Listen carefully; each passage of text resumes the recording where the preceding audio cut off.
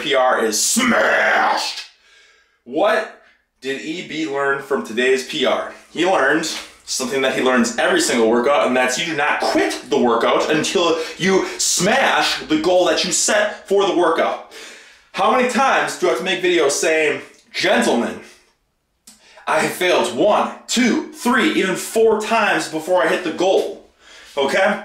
And why is that? Well, I'll tell you why it's not. It's not a strength factor, it's a confidence factor. It's uh, pretty much every other external factor there is. The setup, the tunes that are cranking, going for the PR. It's got to be something that you know very well. And when they break down, you break the goal.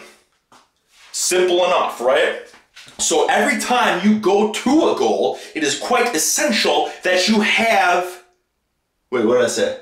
Every time you go to the gym, it is quite essential that you have a goal to smash. And if you fail, and if you fail, and if you fail, and if you fail, and again, then I suggest that you always go to the gym with a secondary goal. Okay? Because if it's tough for you to break PRs every single day, you need to reevaluate what are you doing leading up to your workout session?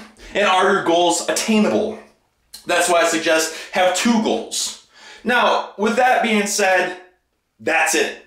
Just a little rehash of the 140 pound single arm snatch, fourth, fifth, whatever it was. I failed numerous times, and I said, no, no, no, no, no, no, no, no, that's not gonna fly, baby. Let's put this love on. And when Phil Anselmo says, you take this love, you take this, you take these gains. Boom.